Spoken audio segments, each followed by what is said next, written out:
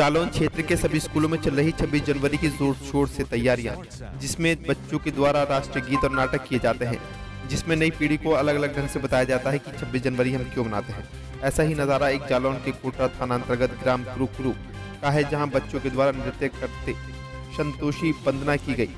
प्राथमिक विद्यालय कुरुकुरु क्षेत्र डकौर जालौन में नन्हे मुन्ने बच्चों द्वारा तैयारी करने का उत्साह दिखाई दिया। आपको बता दें, प्राथमिक विद्यालय कुरुकुरु में प्रिंसिपल उमा देवी के द्वारा ये तैयारी की जा रही है, जिसमें बच्चे 26 जनवरी 2019 को अच्छे से अच्छा कार्यक्रम शुरू कर सके, जिससे हम स्कूल में प्रिंसिपल हैं, उसका नाम रोशन हो सके। न्यूज़ फ्रीडम के लिए जालौन से उमा शंकर की रिपोर्ट।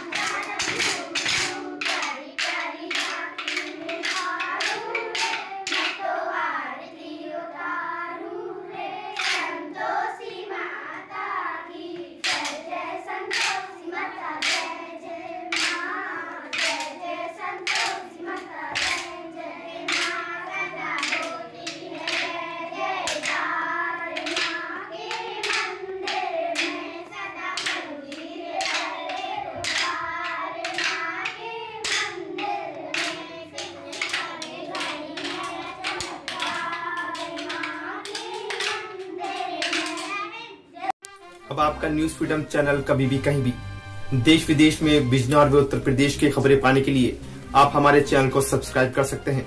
हमारे चैनल को सब्सक्राइब करने के लिए यूट्यूब पर लॉग इन कीजिए और सब्सक्राइब कीजिए न्यूज़ फ्रीडम चैनल और बने रहिए हमारे साथ अपने क्षेत्र की खबरों।